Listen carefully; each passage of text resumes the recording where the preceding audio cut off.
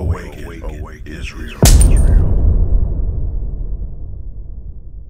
Just to introduce myself real quick, I'm I'm, uh, I'm Akgadon. You know, we have a few.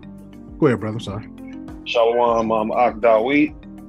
All right, we're gonna have some other folks joining as well uh, very very soon. I know some folks are actually still coming in for work, uh, but we're gonna see if we're gonna see what we can get through tonight. We're gonna be continuing on uh, on the series. Um, let's see, uh, the lessons of the lessons from a dysfunctional marriage. This is actually uh, going to be uh, part four. Judah Nick. Judah Nick. Yo, yo, yo. Hey, Shalom, brother. Shalom. Shalom, shalom. Hey man, so yeah, we're just getting started.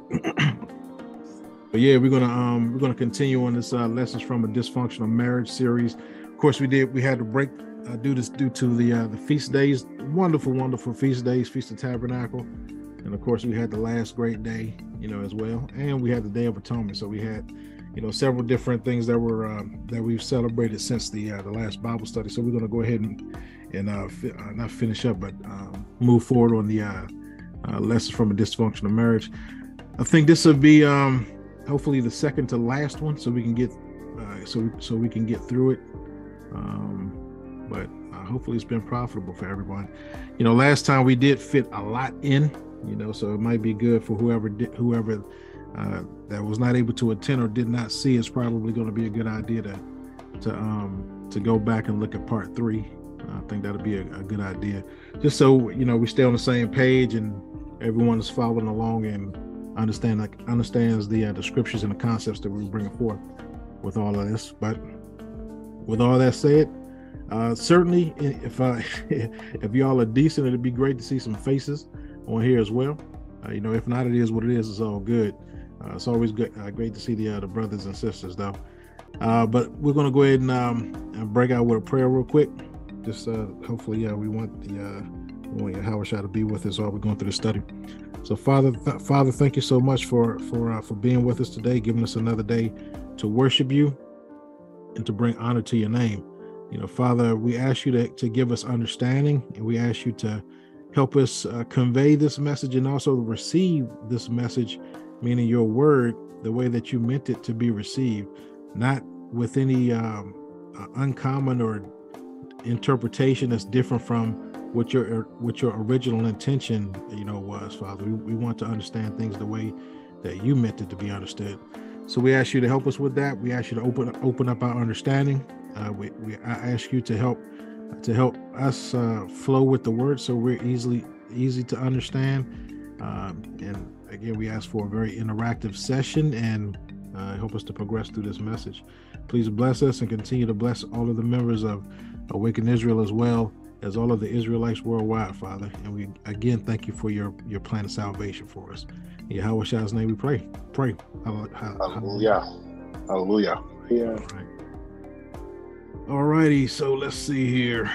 I'm not going to go through a big old uh, review because, like I said, we covered a lot of ground last time. But for the most part, you know, we were talking about um, we were talking about the marriages. We t- we brought up the um, we, we were talking about Adam and Eve. We brought up how you know uh, Eve was really the originator of that. She was she was the gen- the progenitor of the original feminist spirit, and we see that uh, also going through the ranks in terms of different religions where we have you know um, a female and a son and a, and a son or a child that's being uh, worshipped. You know, we brought up you know Ishtar, Catholicism, you know Tammuz, Mama Africa, all, all of these female deities.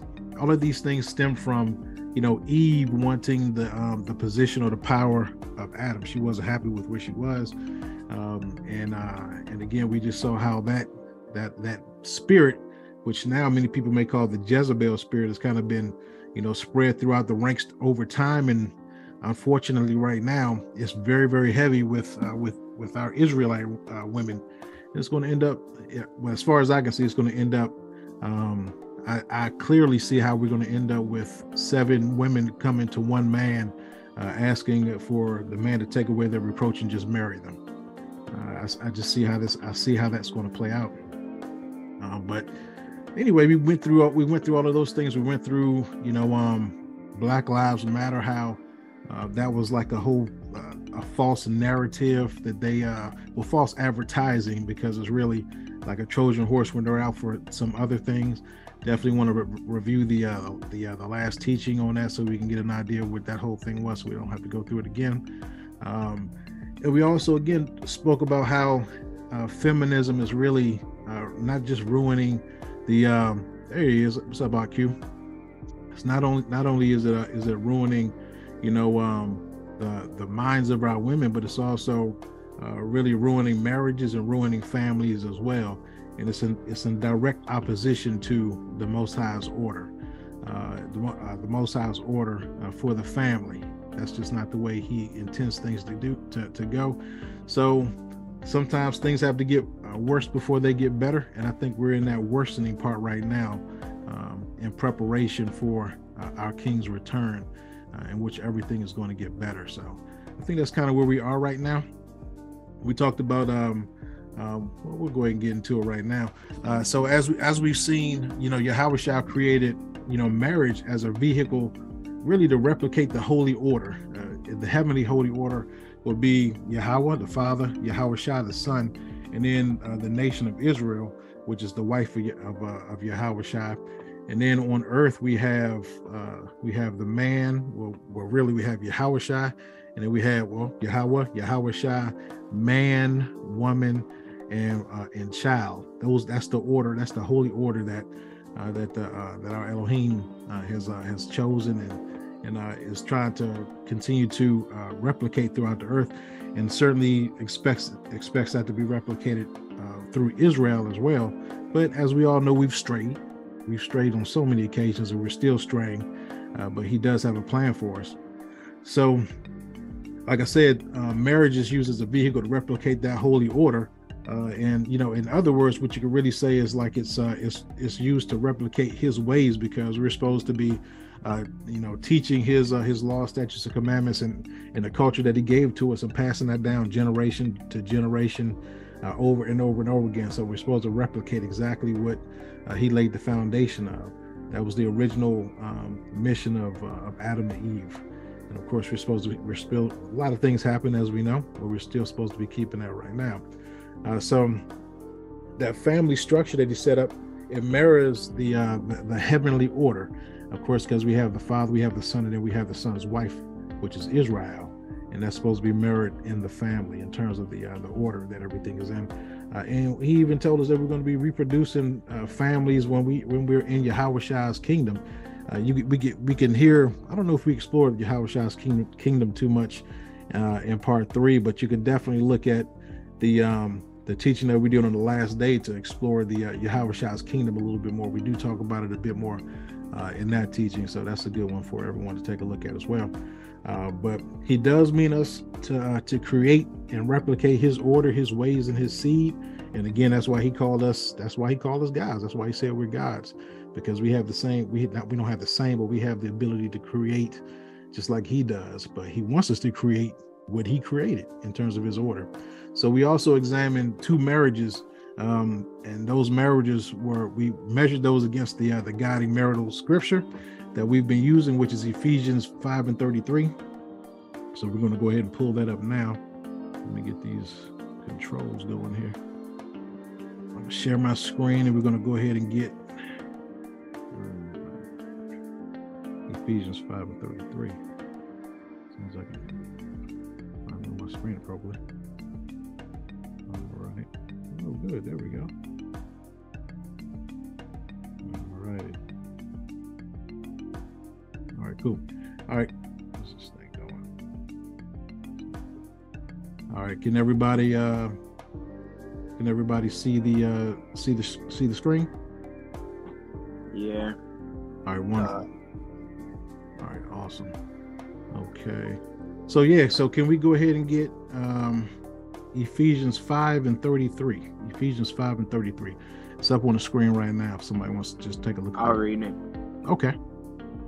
Nevertheless, let every one of you in particular so love his wife even as himself, and the wife see that she reverence her husband.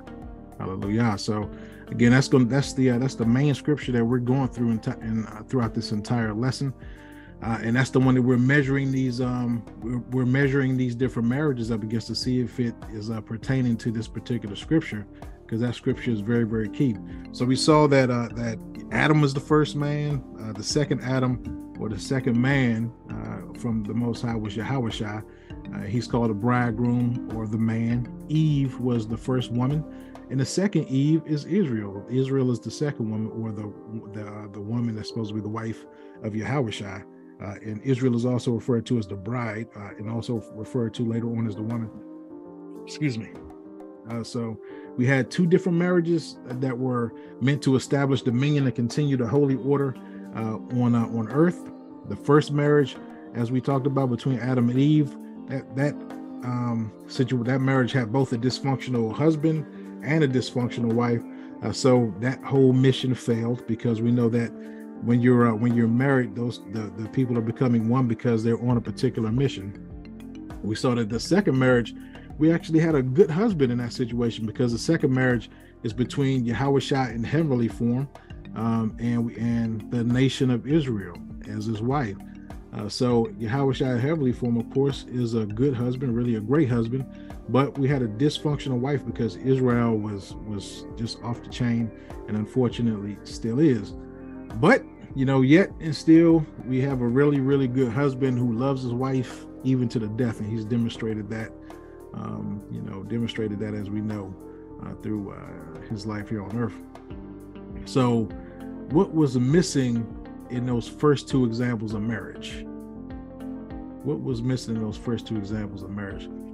So we're going to see if we can answer that. Uh, so first thing we're going to go, we're going to go to um, and again, we want to start with some additional marital advice from the scriptures. We're going to go to Ephesians 5 uh, and 25 through 29. Ephesians 5, 25 through 29. So we can go ahead and read if you if someone wants to read that. Uh 25? Yep, 25 through 29. Husbands, love your wives, even as Christ also loved the church and gave himself for it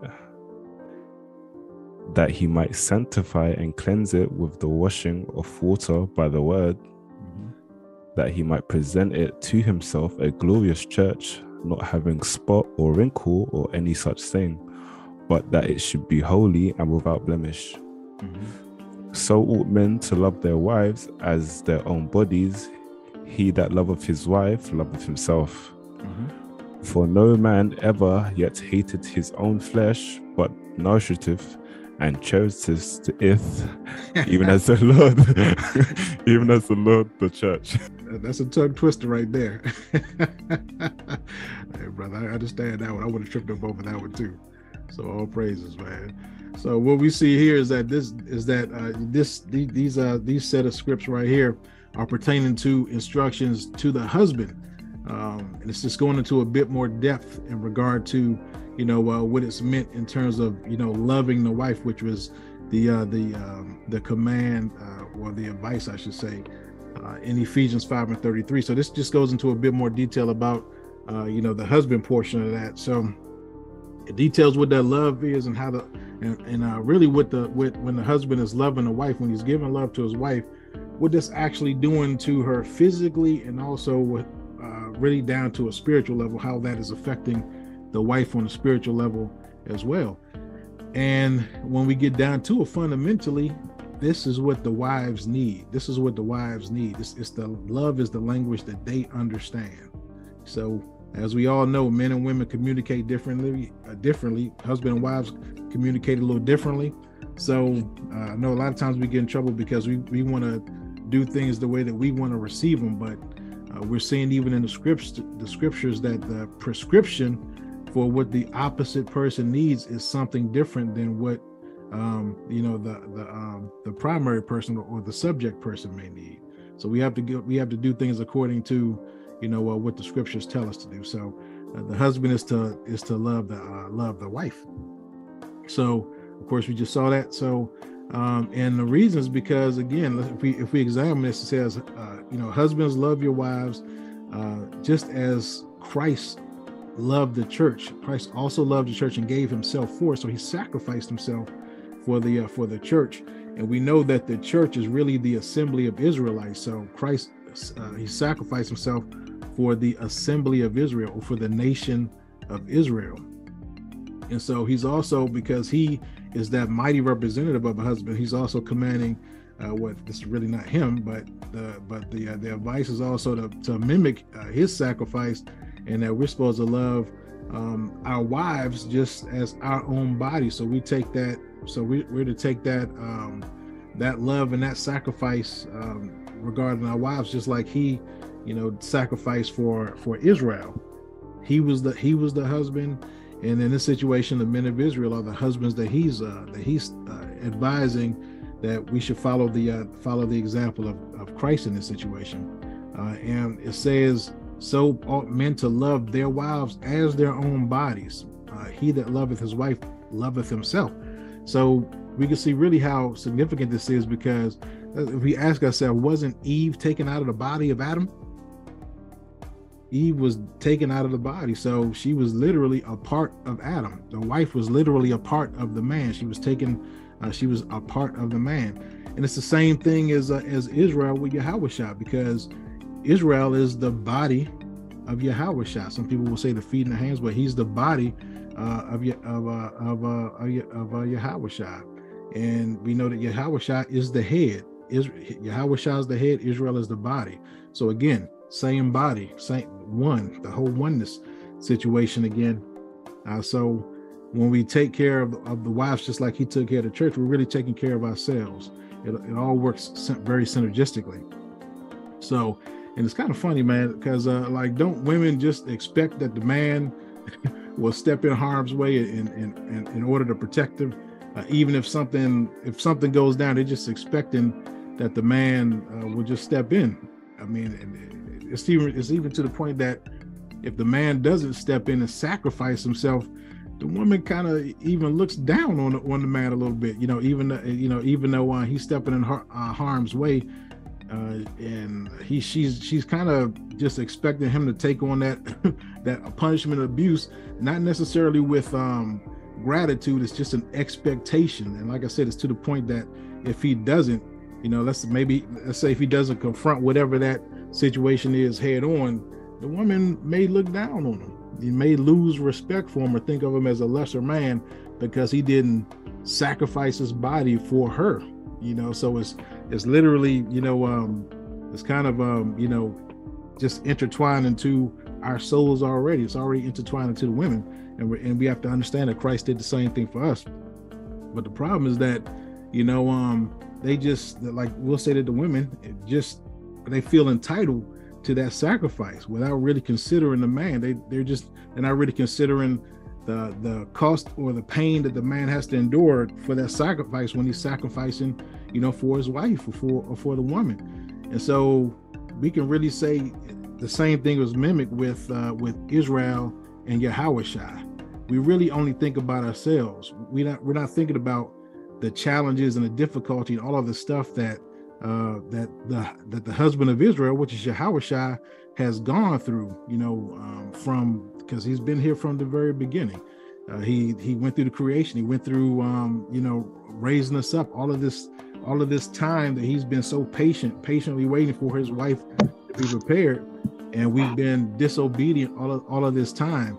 You know, he's um, we've um, disobeyed him. He saved us over and over again. That's that cycle has you know, uh, been many, so many different times, and we continue to do the same thing. And again, we're not we're focused on just uh, expecting that he's going to absorb this this pain and this hurt and punishment because we get he has emotions because that's where we get our emotions from.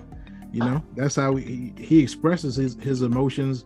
You know, uh, definitely more so during the Old Testament. So we know that he gets angry and upset. We know we know that he feels happy about certain things. We know that he's very hopeful when he's expressing the promises that he's given to uh, to Israel.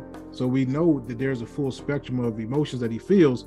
However, what we do typically is think about us. You know, we we we fall for these different temptations. Uh, even though when we do these different things, we're actually going against our uh, our uh, spiritual husband, which is Yahweh. We're going against him, but we're focused on ourselves. We're not focused on you know, um, how he feels through the situation. We're just expecting him to absorb that um, that pain or absorb that sacrifice. So we're feeling just as entitled as many women may feel for uh, their husbands, expecting that their husband is just going to die for them, just going to take the sacrifice, even if it's something that's their fault. like if a woman gets, you know, start some stuff up and the man has to jump in there and try to save her or save face or whatever, and could end up being killed over some silliness, you know. But it's, uh, but it's just expected that he's going to step in there uh, and and uh, and do that, and and I understand why that expectation is there but the problem is that it's not always fully um, it's not always fully appreciated for for uh, what uh, type of valor that is and like i said unfortunately israel does the same thing in regard to sin and just expecting that just just just not really focusing on how deep and how how deep Yahweh was cut in terms of sacrificing for himself, giving, giving, giving, giving, giving, not receiving very, very much back. We're not focused, but we're not focused on him giving. We're still asking him to, hey, can you take this, you know, um, disrespect a little bit more, this disrespect from from us sinning against you? Can you take it a little bit more? We're focused on him, him um, forgiving us instead of us focusing on how to doing things to to please him, you know. So the husband has to put in a whole lot of work, and and and, and uh, you know, Yahawashi still putting that work work in right now. He's going to have to do it again when he comes back in his millennial millennial reign and when he has to put down all of his enemies. So he's still working. He's still working um, and paying that hefty cost in order to cover his wife. So, in terms of covering the wife, how did Adam do in this department? You know, did did did Adam protect Eve? Does anybody know anything about that? How did Adam do with protecting his wife? Anybody have any ideas? I, um, I think um, Adam did a great job. I think he did. That's why I feel. I, you know, I have a reason why I say that. I think I think he did after they got kicked out, but but uh, I'll say that you know according to the um, according to the scriptures before that, he might have gotten a little uh, a little lackadaisical. We don't know how much time you know um, what was going on out there. But in the beginning, he was definitely operating operating uh, in his role, but eventually he became dysfunctional. Um, and we're going to see that in the scripture. You know how because we have to remember that the whole order, the the maintenance of the order and keeping that thing in in line is the job of um, it is the job of the of the man. And. Like said, I think, I, I, I think Adam, Salaki King. I think when Adam screwed up, he hearkened unto, well, the Most High punished him for hearkening unto the voice of his wife. And she was out of order. She was in a fallen state. And so nothing, nothing pure was going to be coming out of her after obtaining uh, from the, the tree of knowledge of good and evil. So it wasn't nothing, it wasn't nothing good in her anymore. So he hearkened unto her voice and, and while she was evil or corrupt or fallen. And he did partake in the fruit. She gave it to him. She shouldn't have gave it to him. Mm-hmm. She shouldn't have listened to, had a conversation with the enemy to for the enemy to make that the, the uh, what was um denied by the Most High. He the, uh, Satan made it desirable. It became desirable. She wanted to have this from the text, the script. She wanted to have more wisdom and knowledge. She thought she was going to have more wisdom and knowledge by by taking in it, knowing good and evil. She wanted to be I a goddess. and, and and the Most High punished Adam. This is just my, you know, what I perceive from it. The Most mm-hmm. High punished Adam. He stated in, in, in Genesis 3:17. He punished Adam from listening to his wife, but mm-hmm. at the same time, uh, Adam didn't have to fall with her, but I think he fell with her because he they was connected. He loved her, and he actually saved her life from being destroyed. In the end, that's in, in the end that's true. Let, us let's let's review. Um, yeah, let's break it down. Let's get it. We're gonna review uh, part of uh, part of what happened because I, I agree with uh, with most of what you said. There's one little part that pretty much changed everything. Uh, let me share my screen again because um, we're going to go to Genesis, uh, Genesis uh, three. Hold on for a second. Genesis three and six. Genesis three and six. I'll grab. Get this little. Genesis three and six. Genesis chapter three, verse six. Yes, sir. And, and when the, we're gonna we're gonna do three and six, and then we, uh, I'm sorry, we're gonna do uh, verse six, and then we're gonna skip down to eleven and twelve. Okay. Six and then eleven and twelve. So go ahead. Okay. Genesis chapter three, verse six. And when the woman saw that the tree was good for food, and that it was pleasant to the eyes, and a tree to be desired to make one wise, she took of the fruit thereof and did eat, and gave also unto her husband with her, and he did eat. That's the this is the big problem right there. Gave also to un, unto her husband with her. He was with her. So he should have been protecting her. So this is where he fell off. He was right there with her while while this serpent was talking to her. This is where he should have been in in, uh, in protection mode or or sacrificing himself mode of protecting his wife or or, or uh, ordering her correctly you know, not to be, you know, dealing with that serpent. So this is why um it ended up being something that fell on fell on the man because he was with her. And like you said, Kataza, he, he actually was not just with her, he went on to listen to her as well. He listened to her and further allowed her to to uh, to go against the Most High, and then go ahead and he did the same thing. So it all fell on him because he's he's the uh, he's the he's the coach. He's the president of the team. You know what I mean? Uh, um, Con, Con. I mean, we, I, I like to play the devil's advocate. Sure. Right now, because he did eat. The Most High gave him the commandment not to touch it, which Adam knew. He was already in the garden. We can't really say how it went because we was not there. Mm-hmm. But she did, we know that from reading from text, she did give it to him mm-hmm. and he ate with her. She is already eating it. She's like biting it, just say, you know, hypothetically, she's eating this plate. And she gives it to Adam. And he eat it with her. She she already knew in her mind that it was no good. Her eyes was open before his. I this is how I perceive it. Mm-hmm. Because mm-hmm. she she was in a fallen state. She mm-hmm. became wise on an evil level, just like I'm gonna give it to him too. It's like your wife feeding you a plate of poison. Mm-hmm. She know it's poison. Yeah, I agree with and that. He eats it. At the same time, I think Adam, you know, personally, he would have dealt with the serpent. He would have dealt with Satan and be like, hold up, this conversation ain't going down. You know, get get, you know, back down. But the most high allowed them, we had free will to play out what happened most High watching it. Okay, she was she saw the tree desirable. She ate. She of course her her eyes was open because both of their eyes was open, but she mm-hmm. was falling Right. Because she gave, it, she gave it to her husband, not knowing she shouldn't have gave it to him. She was already wrong. She shared, she gave it to her husband. He was wrong for listening to her to partake in the fruit. You know, I I, I mean, like they they both because because they both was in a, a wrong state of mind um to think that I don't think Adam thought like if I eat it, I'm not gonna die.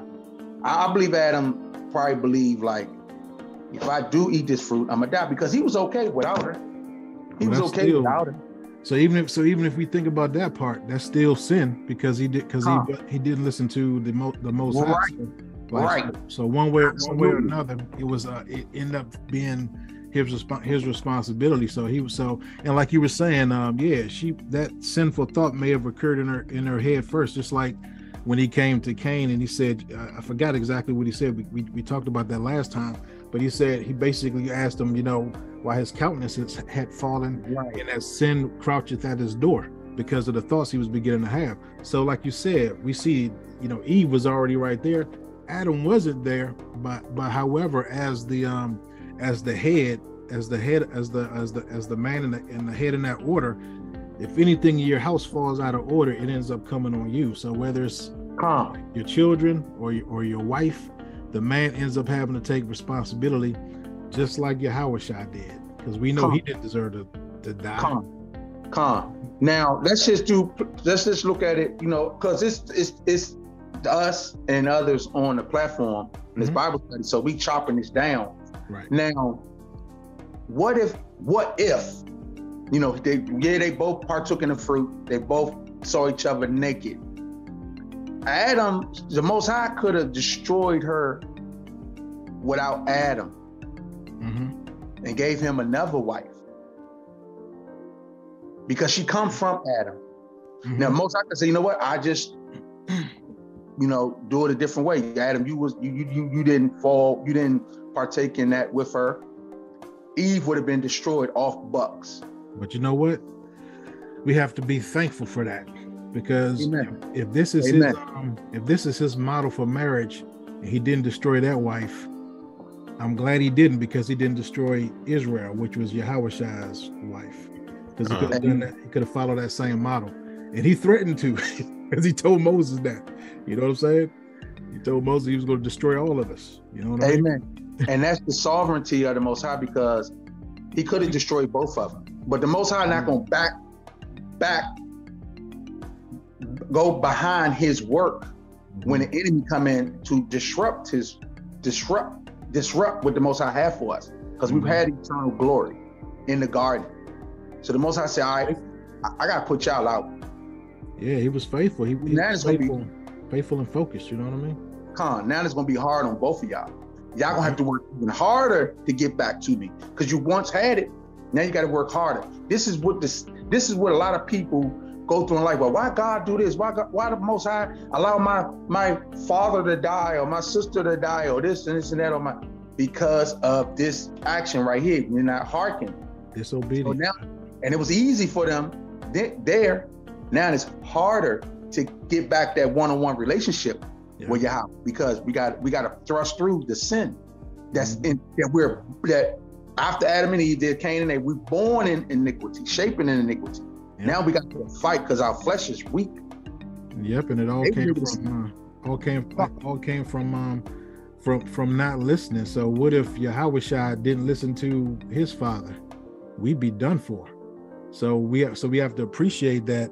Um, well, that's what that well, that's actually what we're seeing. Like we're seeing the um we're seeing these dysfunctional marriages. So we saw that we saw in this one, like you were talking about with Adam and Eve, we're seeing that both of them were dysfunctional you know? So like even if we're talking about the um the sacrifice you know uh, part of it did uh did did did adam sacrifice for his wife?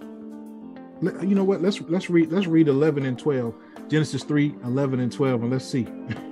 Let's see how adam let's see how genesis, adam roll, roll with this situation. Genesis God. 3 11 and 12 this is genesis chapter 3 verse 11 and he said who told thee that thou was naked Hast thou eaten of the tree whereof I commanded thee that thou shouldest not eat? And this is this is uh the most high, really Yahawashi in heavenly form, you know, talking to and, and reprimanding uh, Adam at the at this point.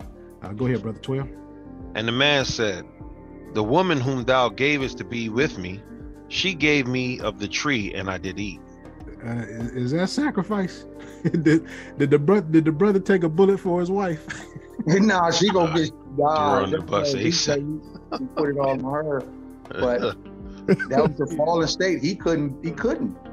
He had a mind to fight for her because they both saw each other naked. They both were in a fallen state. They both were sinful. the Most High, because you look at you look at you, you, um, the Most High held Adam accountable because he, when he, when he was uh, walking through the garden, he called unto Adam, not the woman. Adam, right. where art thou? He, was, he already knew that they was in the fallen state, and um, he had to deal with the man first, right? Before even dealing with a woman. Right. That's why women should understand this part of their character. Like when you go, a man and woman go somewhere, the man is addressed. Not saying that the woman is not addressed, but they together, they're one. Right. But that I, when I, if I greet Dawid. Mm-hmm. I'm greeting him he, he, he, with his wife. Right. Greet him. He's the man. Right. And then business, you know. Right. Doing business, anything you, you know, you can talk to the woman. A woman should not. A woman can't speak for a man. Mm-hmm. Because the Most High ain't dealing with the woman right now. He's dealing with Adam. God. He wanted to move Adam to the side and deal with the woman. Most High does everything in perfect decency and order. Everything is in order. So we so we uh we we definitely see that here, and we see again how uh, how how Adam stepped out of, stepped out of order because buses weren't even invented yet, but he straight threw up threw her up under one. first, he, she was, he was the first one that got thrown under the bus in, in, in history. Adam was like, "Take that," you know what I'm saying? With no hesitation, bro. He was like, "I ain't taking this one, bro. I ain't taking this for you." you know what I'm saying?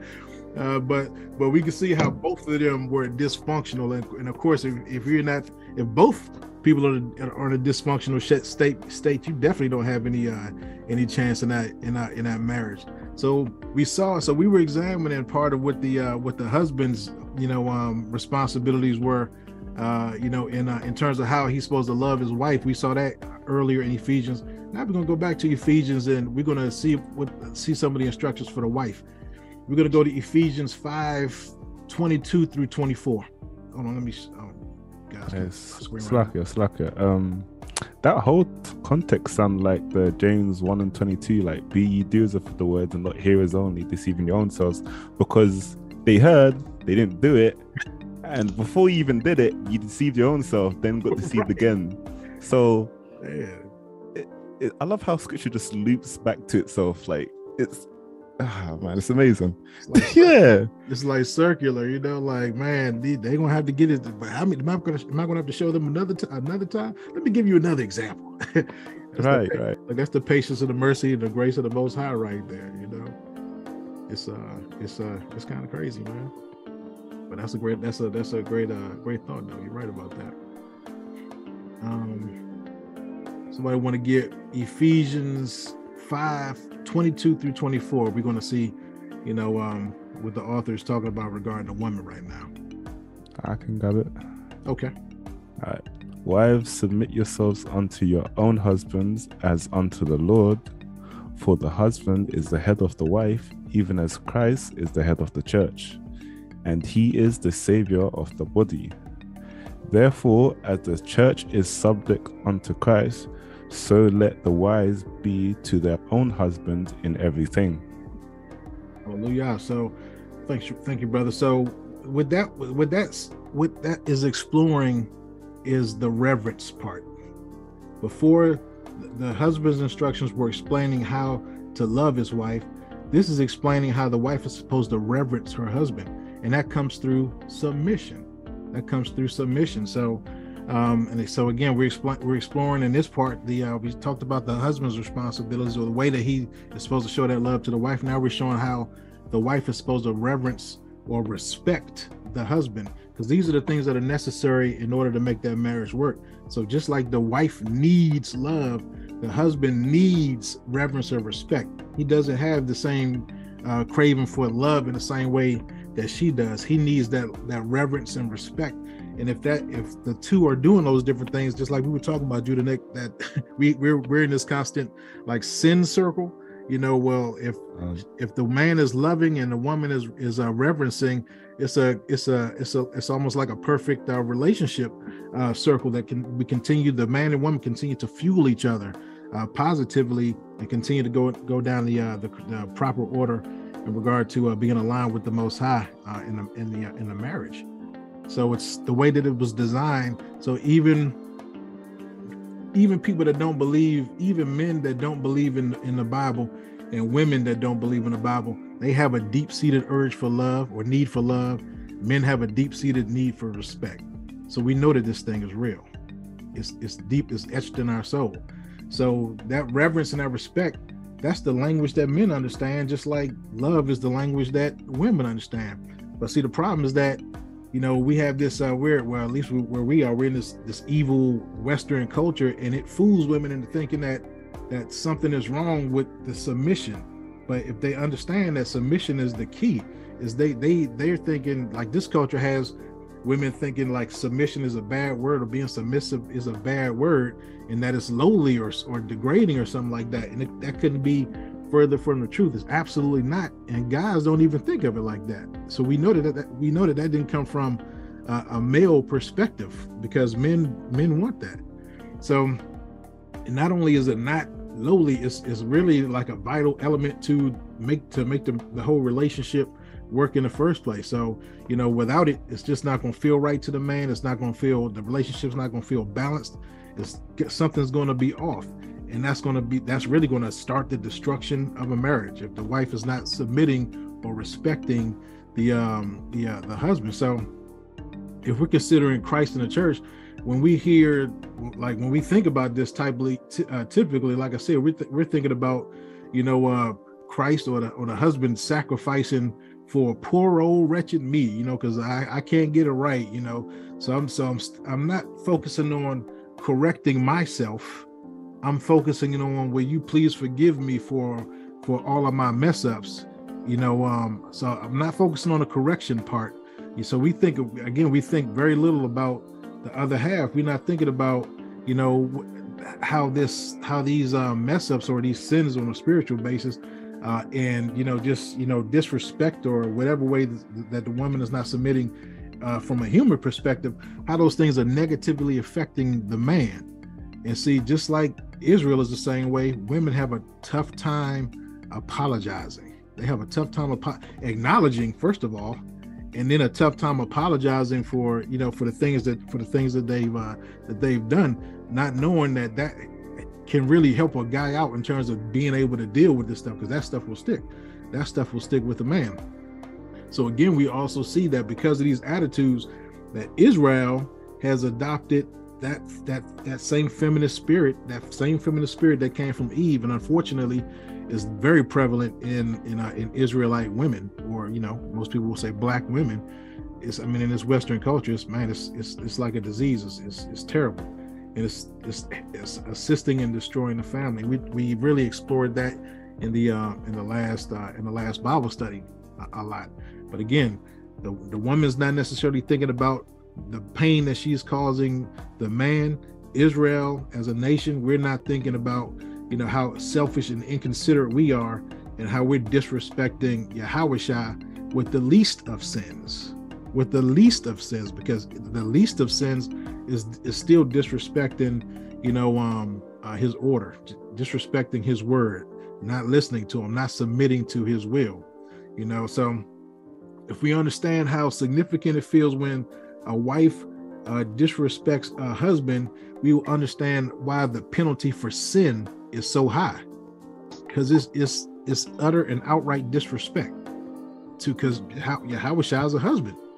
So it's the so that sin is disrespectful and it's the opposite of submission. So that's why it's a big penalty for for that for sin. It's not a small thing.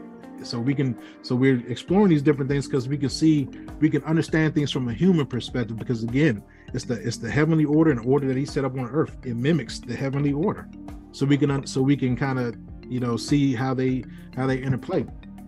So by the same by the by the same um uh, understanding, we can understand how you know if uh, um when a woman gives like a sincere apology, when the man hears a sincere apology from from the wife uh, in a vow to never do it again and never make that error, uh, error again followed up by a support a support attitude and actions that are supporting that apology that mean that even though he's not happy with the um, with her mistake or whatever it means the world to him and is and, uh, and, if, and he feels it feels it's a lot easier to forgive her if she's very sincere and she's following that up with her actions and not do and also not doing again doing that again so from a spiritual perspective another way of another word for that is repentance so when we repent, we are supposed to acknowledge our error and we're supposed to uh, vow to turn back from it and never do it again. That's the wife apologizing to the husband. That repentance is like the wife apologizing to the husband. So again, that repentance, that apology, that submission, that's the that's a language that Yahweh as a husband understands. So, and this is why he won't even consider accepting you without it he's not even going to consider accept. So, this, so again, we understand. So we can hopefully we can understand how important that apology is. That how important that repentance repentance is in terms of him um, you know, accepting us or forgiving us for our sins. That's why the repentance and that apology is so is so significant because that repentance is supposed to be sincere and it's supposed to be a sincere marker or evidence that you know you're sincerely sorry about the the, um, the sin that you committed, the messed up that you did for being disobedient, for not for not submitting, and not following His order. So only with that sincere, heartfelt repentance followed up by action, which is required, that's the only way that He's going to forgive you and allow you to continue in the relationship. Uh-huh. So that's, that's, why it's that's why it's required because again, Yahawashi is the husband and Israel is the wife. Go ahead, bro. Uh-huh. Yeah, that that that's a those are that's great we have here a lot of women or a man in a relationship. A woman feels like, uh, first of all, we separated from the Most High, from being thrown, having been thrown out the garden. Then we have the sin. The sin uh, opens up so many doors to other sins, and for that repentance that she have to do that. A lot, some women think that as long as she don't know, I lied. They're not truly. They're not. It's not truly a repentance. If they oh. hiding something or covering something or not being in the light uh, uh, of the truth, like she might like, you know, uh, she did X, Y, Z. She's not. T- she's never going to confess, like you said, and it's very hard because she feel like the husband gonna look at her sideways, but if she come clean and repent, she's back in the light with the Most High, and she's back in the graces of her husband. Mm-hmm. But she don't do that. He's always gonna look at her sideways, like you can't even be truthful to me. The same way how Yahweh look at us and our repent uh, in our sinful state. You can't even be true to me. Mm-hmm. Right. I'm here for you, but they don't understand it. Sin got gripped them so much they locked in the sin then they feel like I'm gonna take this to the grave. Yep. And I'm alive. I'm not. He's not gonna know, and not knowing that, you know, just with the sincerity of repenting, ask for forgiveness and repenting, and the the, the Yahweh would see it. Yahawashi would see yep. the sincerity because it's spiritual warfare that we're dealing. We're dealing with the enemy on one end, and when we operate and not truthfulness, we saying that we giving power to the devil. Mm-hmm. They're saying they're giving power. They rather rock with Satan than be truthful with their husband, and thinking that it's okay. As long as they, as long as he don't know, they feel like it's okay, and they can operate in their wickedness. So that's why. So to speak on to continue what you're saying, that's why everything is not everything, but obviously it's based on the sincerity of your heart. Like so, if we think from a, from a spiritual perspective, we might not get it all right, but like you said, he not, he knows the sincerity of our heart. He knows if we're trying. So even if we mess up while we're trying, he knows the sincerity of our heart. He also knows if if we are lukewarm, like you're saying. Lukewarm is almost like lying a little bit you know? It's like well yeah well no I didn't i didn't do that honey you know? Well I, did it a little bit but you know i ain't gonna never do it do it again. But she already got plans to do whatever it was. Again she just she just keeping them joints on the low. That's lukewarm. And he said i'm gonna spit you out. If you're lukewarm that's not a full sincerity of heart he the most high know he see everything and the woman carrying on like that with her husband, it does cause him pain. It caused Israel pain. God, God. And and, and, and it's like, and a lot of times the husband will know exactly what it is. Mm-hmm. He gonna he'll probably deal with her, but the most high gonna bake a cake for her because she not in sincerity.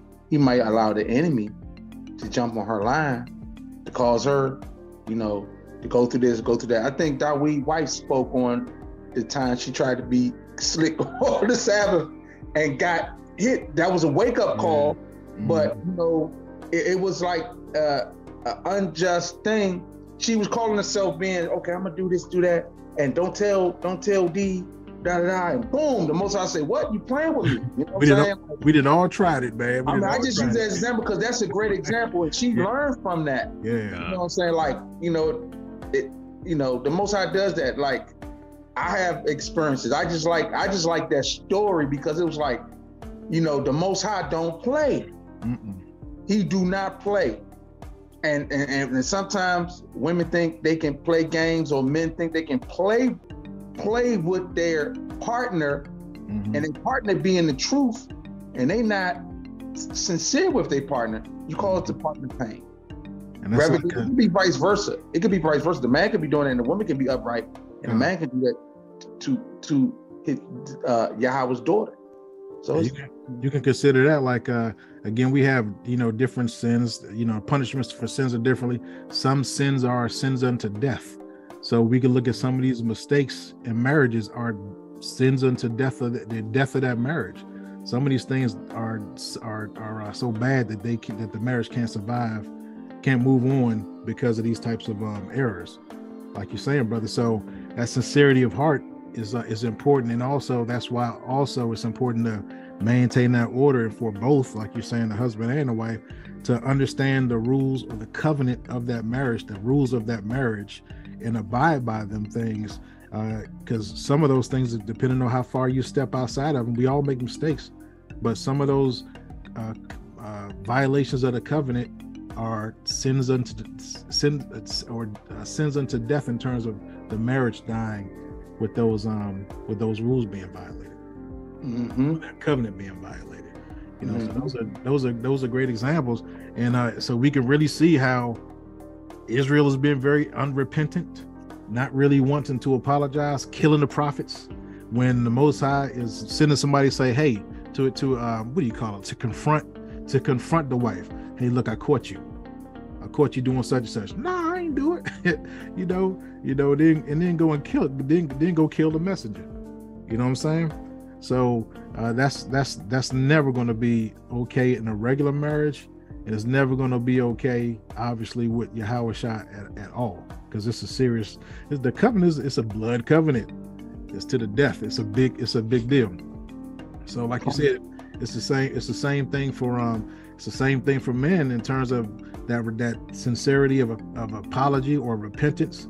You know, um, it's a sign that the wife is being accountable for her actions and that's uh because these things they're they're a major violation in the eyes of men just like they're a major violation in the eyes of uh, of Yahawashi. so if a woman doesn't apologize for a wrongdoing it's like she's completely disrespecting the husband complete mm-hmm. show of disrespect to the husband and and that's gonna that's gonna completely upset the husband of the upset the husband immediately you know um so the fact like even if we're talking about the incident on the Shabbat that you were talking about, the fact that um, he that that uh, Yahweh, did bring whatever her error was to her attention was awesome because that's chastising as opposed to letting letting someone's sin come to the full, you know, for their and then destroying them, you know. So that's uh that that's so that says that she has sincerity of heart. She made a mistake, tried to get over, you know what I'm saying? Like I said, something that we all do, but that relationship was intact you know what I'm saying? So he confronted her, sent a prophet, we'll just say, and she hmm. repented, just like the Ninevites did, you know, initially anyway. You know what I mean?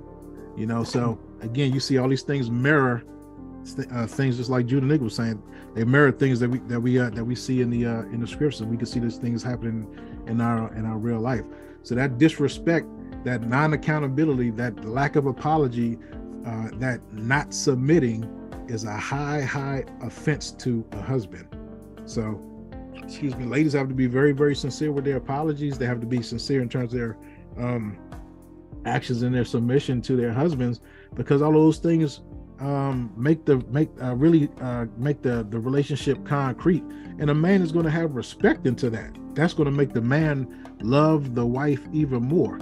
That's going to make Yahawashi want to give everything. Why do you think he gave he gave all of these promises? He gave all of these promises with the expectation of submission from Israel. All of these all of these expectations that we're going to follow and do exactly what his word says. And that makes the husband overjoyed when the wife does those different things. He'll do anything for her. Mm-hmm. So um, we'll also my bad, bro. You got something to say? No, go ahead, go ahead, go ahead. Sorry, go ahead. Okay, it's all good. I'm, I'm, I'm um share my screen again because again the um uh the connotation over in this wicked culture is that it's just a negative thing. But if we look at Ephesians 5 and 21, uh so you want to read that one real quick? I don't know if you can see that Q. Ephesians, Ephesians 5 and 21. Yeah. Uh, submitting yourselves one to another in the fear of Yahweh God. Con, con. So both people have to submit so women think about this thing as again because this this messaging that they're getting from this feminist movement and this ridiculous culture they they are believing all of the all of the uh whack stuff and thinking that submission is something that's a lowly thing when that's exactly what everybody has to do what did Yahweh do when he came down here on earth he, mm-hmm. he served he submitted he, he, he served his people. He did the exact same thing. He submitted himself. We're supposed to submit ourselves to him. He submitted himself to us. Come, come. Submit yourselves one to another in the come. fear of Yahweh. Come. Same thing. So, so everybody has to submit. It's not just women. So the so so the sisters, you know, sisters got to get some understanding, and the men got to get some some understanding as well. So uh, we're gonna dissect it a little bit more. Let's see if we can go to gonna go to Acts, Acts four and twelve. Acts and twelve. Get that up. Acts uh, Acts four and twelve. So because we're gonna see what was missing in those uh, in those first two marriages. Uh, what was really missing was the reverence because again with uh with with um adam and eve we had two dysfunctional people. In the second marriage which was yahweh and israel we had a good husband but we still had a dysfunctional wife. We still had a dysfunctional wife. So let's uh let's get at let's get uh acts 4 and 12 4 and 12 4 and 12 because we we're gonna see um we're going to see what was missing, what, what was missing in this relationship. Acts 4 and 12. Acts 4 verse 12. Again, this is this is showing how just like um we're, we're just drilling down on how important that submission and that respect is to the man. And we're gonna we're gonna hear about that right now from uh from Yahweh's uh, perspective. Uh, let's go. Let's go ahead, brother. Four and twelve. Acts four and twelve. Acts 4 and 12, chapter 4, verse 12. Neither is there salvation in any other, for there is none other than none other name, other name under heaven given among men, whereby we must be saved. Con, con. So, so if we were to break this down in relationship terms, because that's what it is, and if we understand, that's why understanding that this is actually a marriage it makes things so much simpler. So what this is saying is, look, there is no other man, because this is Yahawashi's uh, message to us. Neither is is there salvation in any other. No other man. There is no other. No, there is no salvation in any other man, any other nation. No one else is is uh salvation. You're not getting salvation from anybody else. There is no other name under heaven given among men whereby you must where, whereby we must be saved. So there's so again it's a it's a statement saying that you know um everything is is this relationship is is him Yahawashi in Israel. Don't even think about any other name any other man. It's very very possessive. Yahawashi is very very possessive. You know he's he, he claims that Israel is his and his alone. He he calls he says you are my people. And, and how often does he say that he, he says it all the time. Uh, and even we're going to see again Exodus 34. Let me see Exodus 34 and 4, because it just makes these things very simple, understanding uh, things from a relational or even or, or more so a marriage context. I grab it. Very, very possessive. And see, women don't like women. Women these days they don't like these terms. But look, this is this is the way the, the uh, Yahweh is the is a is all about being a, a, alpha, a sigma, whatever kind of man you want to say. He's he's he's he's a beefy, ma- uh, uh, um, uh, masculine man in, in every aspect that you can think of. So let's think, let's uh, let's get um, Exodus 34 and 14 and see again how he expresses himself. Exodus 34 and 14. This is the book of Exodus, chapter 34, verse 14. For thou shalt worship no other God, for the Lord, whose name is jealous, is a jealous God. He said, Look, my name is jealous. hmm. So he's saying again, he's this is all things possessive. It's, he's he's he's uh focused on his relationship, and he's saying you need to be focused on this relationship too. I'm very jealous. I'm extremely jealous. Don't even think about any other man. Don't think about any other any other um you know nation or follow some some uh, some false deity or anything like that. So again, if we break these things down from a, a to a, a, human perspective, a man has the same ex, um, expectation, you know, reg- regarding um, regarding his wife, has the same expectation regarding a wife, um, and so so if you look at it like this, it's uh in the in the Bible, it's it's uh men can have multiple wives, women can't have multiple husbands. So the so in other words, it's the women that are that have to be committed to the man. The man is obviously obviously committed to his wives as well. But what I'm saying is that these the, the women are committed to the man. Going outside of that man, going to another man is a violation.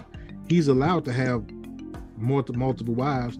If we take look look at that from a uh, from a spiritual perspective, we could we could just talk about uh, you know the house of Judah and the house of Israel because he calls he calls um, Judah Israel's treacherous sister.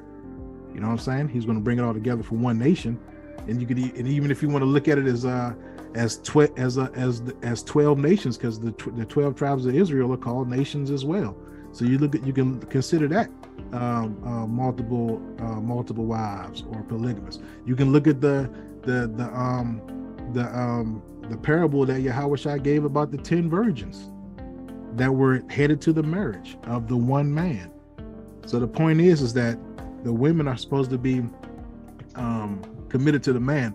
It's uh, it's it's the the man is is possessive and committed to the woman, no doubt, because he's made promises to her and he's and he has a covenant with her, and he's focusing on her.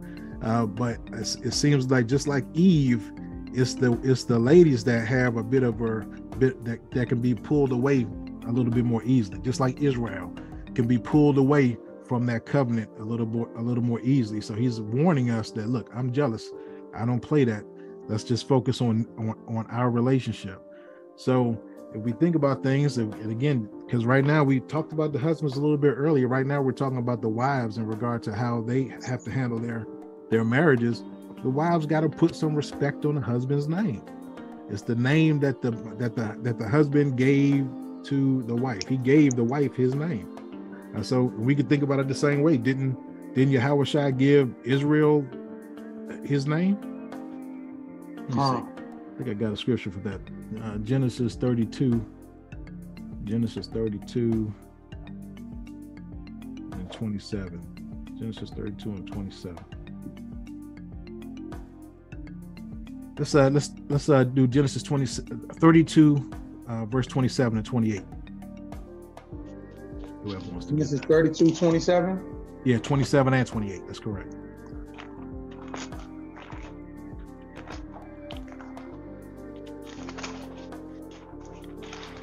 Genesis chapter 32, verse 27 and 28. Yes, sir. And he said unto him, what is thy name? And he said, Jacob. And he said, Thy name shall be called no more Jacob, but Israel. For as a prince has thou power with Yahweh and with men, and has prevailed. Hallelujah. So that's a renaming right there. And we're going to put a stamp on that right here with Genesis 35 uh, 10 through 12. Genesis 35, 10 through 12. We're going to see. Genesis 35, 10 through 12. Yes, sir.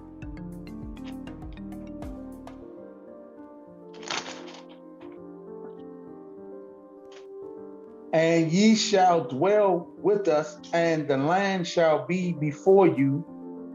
dwell and trade ye therein. Uh, got, you got Genesis 30, Genesis 35. Salakia, King.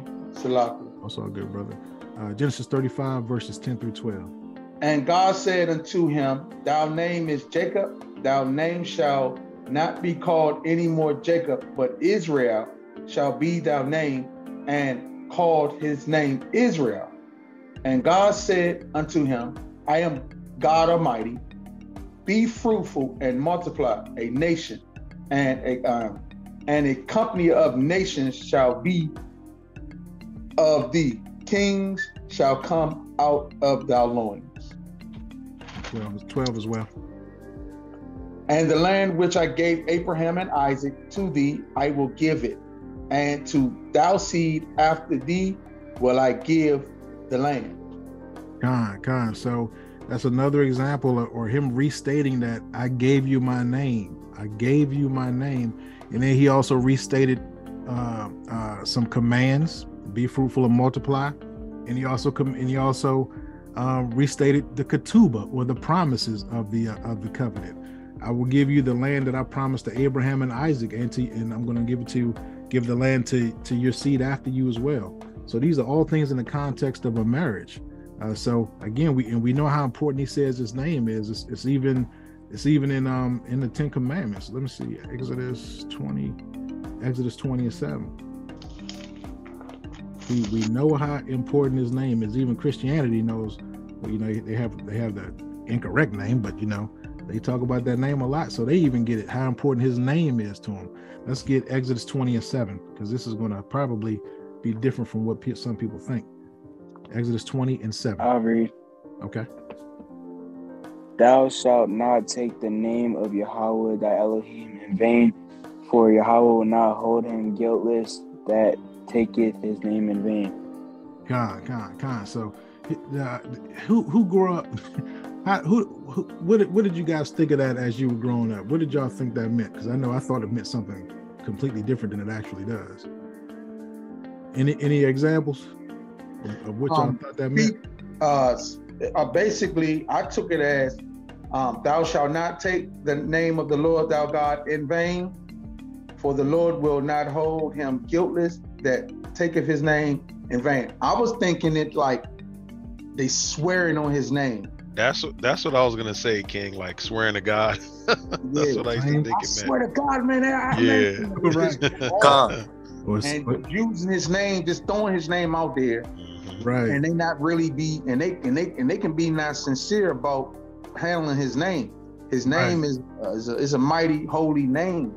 You can't just throw it out there like that and use it and abuse it. You got to really reverence the Lord Yahweh's name. You can't be like, man, I swear, trying to get somebody to believe. right. Look, I, I, swear, man. And, you know, right. lying both the, the cracks through their teeth, they lying through man.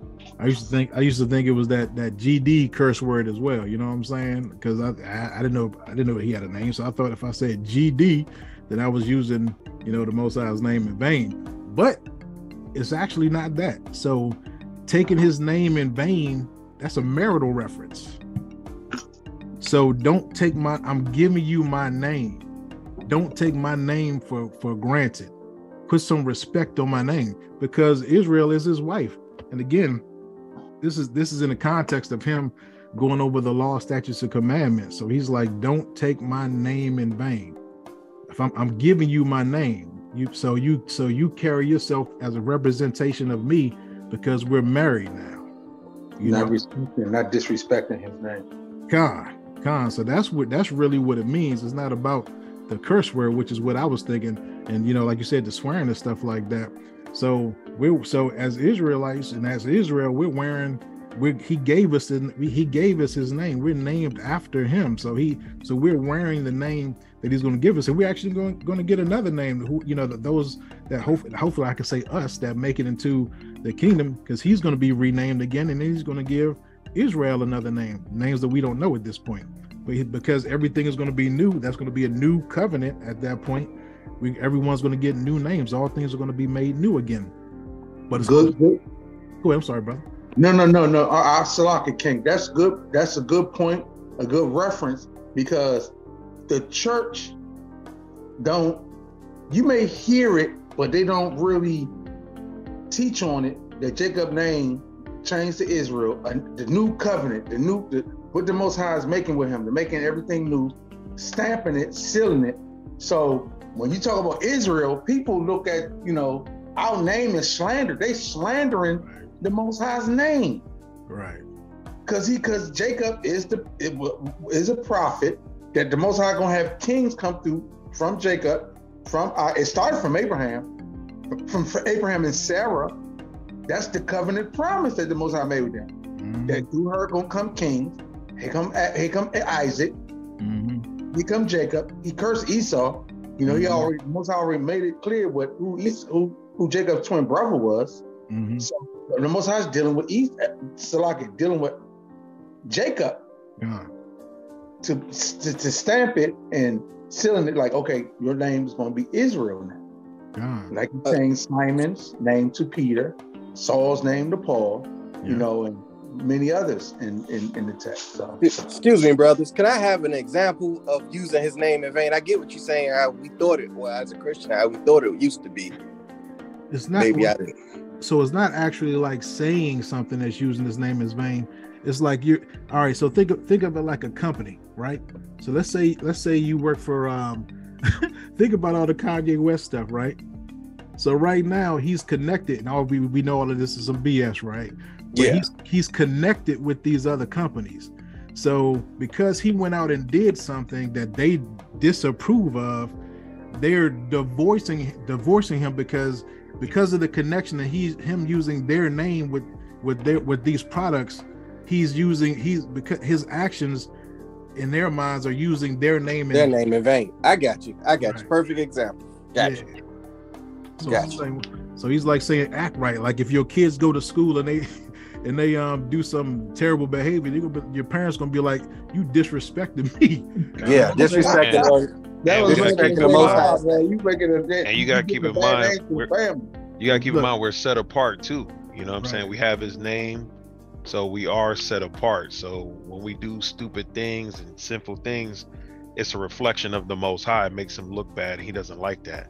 Because God. he attached his name God. sort of like he vouched for us, you know what I'm saying? To God. be his people, and we here making him look bad. So that makes tarnishing it even, his name and that makes it even stronger that that that one of the curses that we're gonna be called a byword. That means we're not gonna be called by his name anymore. That's a nice release, man. I'm not even associated. Look, other nations call him something else. Don't call him by my name no more. Call him a byword. Don't mean I don't. I'm not even. My your part of your punishment is that you not not only are you gonna forget me, forget who you are. you understand how how how this is now? You not only you're gonna forget because you you disrespected me, you disrespected this whole marriage. You, I'm yeah, that's you, deep. that's real. Deep. Everything. I'm not even going to allow other people to call you by your name. And you you see the repercussions of that right now. You try to speak who you really are. and the ish the, the small has the, the small has calling calling the uh the uh the, the, the ground forces on you. You know what I mean? So I mean it's a it's a it's a big deal. So that respect on his name. So same thing with the man. Respect, respect, respect. Reverence, reverence, reverence.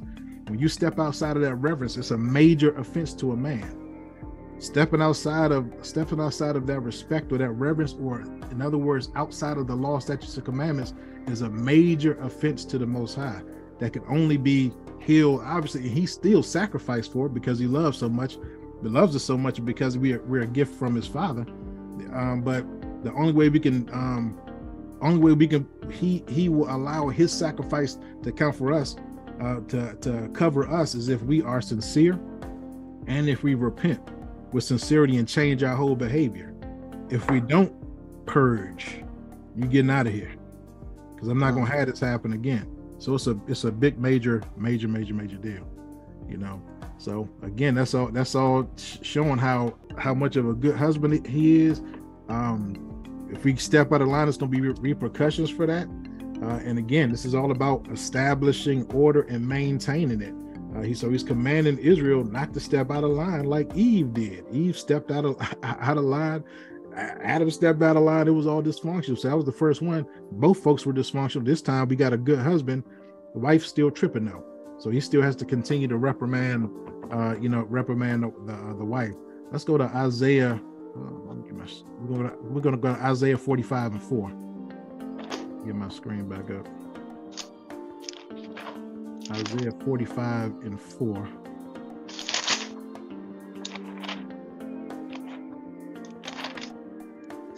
Isaiah 45 and 4. Yes, sir.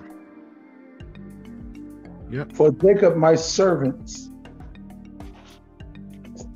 for Jacob, my servant's sake, and Israel, mine elect, I have even called thee by thy name. I have surnamed thee through thou has not, it says, though thou has not known me. So, uh, so, so, Khan, so, so he's saying again that I've given you my name. I've committed to, I've, I've elected you. I've, com- I'm committed to you. I, have I've even given you my name, even though you haven't known me, even though we haven't consummated the marriage yet. What is it called? And um, what is it called when, when the woman is um, promised to the man? I forgot what the biblical term is of that is. Betrothed, something like that. Betrothed. betrothed. Yeah. Oh, okay. So, uh, so he, so he was betrothed. So same thing as as uh, as uh, as Yahweh mother Miriam, she was betrothed to Joseph before they were actually married. You know, so so and that's basically considered a strong engagement, virtually almost a marriage outside, of, except for the the marriage ritual and the marriage and the consummation hasn't happened yet. The actual wedding ritual hasn't happened yet. So he's saying that exact same thing right right here. I've elected you. I've chosen you as my wife. I've I've given you my name even though you haven't known me yet, even though we haven't consumed, consummated the marriage yet. You, so that's why we haven't known him. We not. We still got to get in line, man, with uh with the order. So same thing. Going back to the attitude of a wife. Um, you know, you know, we're as Israel, we're thinking that you know, poor old wretched us. We, I, you know, I just can't get it right. You know, um, but we, you know, we, but we, we need to really understand that Yahweh does not have a self-esteem problem he knows what he deserves. He knows he's a king. He knows that he deserves the best. So, a properly submissive woman who carries herself in order and obedience, reverencing him always, is the woman that he's going to take to wife.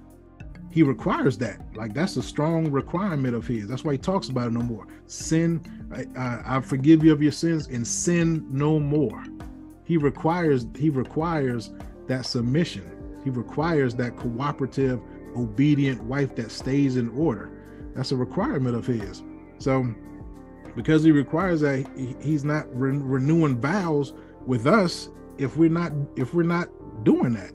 So make no mistake, he's not he's not accepting anything less than that perfect wife. That takes us to what we talked about over the last couple lessons, meaning the um the wilderness experience, the the atonement, the you know the prophetic atonement, uh, that thousand year correction that he's going to be giving us so we can get ready for we're trying to get ready for the actual marriage so that we so so we can know him we consummate the marriage. Submission. If if we're if whoever's not going to be is going to be tossed out. Uh, let's go to first i'm sorry second corinthians uh 11 second corinthians 11 uh we're going to do uh verse 2 and 3 i'll read. Oh good uh, oh you got it daniel quick on the draw, man. I, I, I can't even get there that fast with a computer. Young D is on the job, man. Verse 2? Uh, yes, Second Corinthians 11, 2 and 3. Second Corinthians 11 and 2. For I am jealous over you with godly jealousy, for I have espo- espoused, espoused, espoused you to one husband, that I may present you as a chaste virgin to Christ. So that espousal is the same thing as the betrothal. That's that's the same thing as a as a betrothal. Espousing someone and, and betrothing someone it's the same thing. You're committed. It's, it's like a it's like an engagement. It's like an engagement. Go ahead, brother. But I fear lest by any means, as the serpent beguiled beguiled Eve through his subtlety, subtlety. Yeah, subtlety, subtlety. Sub, yeah. Sub, uh, so your minds should be corrupted from the simplicity that is in Christ. Con, con. So we see that we see that once again he referenced foolish Eve. because of what she did, you know, back in the day and how she corrupted everything and messed things up. And she got tricked or beguiled, you know, by in that situation, the serpent. And what and what we're in right now, we're in the beast system, and also the serpent is the the god of this world currently that we're in right now. So his tricks are all around, uh, all around the wife, uh, constantly right now. So that's why we have to be sober and vigilant, so we don't fall for these different tricks and get caught up just like Eve did. So you know, and and again, he's talking about these things because he's only accepting a chaste virgin, completely dedicated to him, to one husband, not yeah. any other man. Uh-huh. Go ahead, bro. And that makes me think of um, the scripture in Revelation where it talks about the 144 being all virgins, mm. pure. You know what I'm saying? It's not that they didn't actually, they have to be men that never had sex. That's not what he's talking about. The whole context is not committing adultery, spiritual fornication, that kind of thing. So the 144 will be all committed to Hamashiach. They'll be right under him. 100% from from from the beginning of that um of that One, new age. 144%. yeah, there you go. I like that even better. I like that even better. That's definitely much better. See, that's why you need your brothers. You know what I'm saying? that's what I'm talking about, man. so you know, anything anything less than that total commitment is is not going to work. That's going to that's anything less than that total commitment is lukewarm. Therefore, it's out of order. It's either going to be killed or it's going to be left outside the kingdom. So that's why these things is, is very, very important, and we we get a chance to practice these different things in our in our uh, marriages from a human perspective. So we see these things are just kind of you know uh, uh, you know kind of um, mirroring each other. They're paralleling you know each other in terms of his relationship with Israel. So you know this name thing, this jealousy thing, this disrespect, like that, all of that, all of that is a um, is a very, very, very, very big deal because this is the bride that he sacrificed himself for. So he, he's done all of these different things. He created the world for our sake. Everything he's done for our sake, and you think he's going to accept some disrespect? Nah, dog. it's not going down like that. He came out of heaven. He lowered himself. He he he served served us. He got tortured on several occasions. He got murdered. All these different things. He you know he, he did all these things. Painfully sacrificed himself for us no other woman. He didn't do it for any other woman. He's completely focused on who he's espoused to, who who he's betrothed to, who his father gave him as an inheritance and as a gift. So it's not a light thing. So sin is truly not a light thing because we have to think about every so we again we think about how we're messing up but what we really need to be thinking about is how much he laid on the line and how much we're disrespecting him with every sin that we do it's a it's a big ball of disrespect, a big spitting in his face. It's mm-hmm. spitting in it's a wife spitting in a husband's face.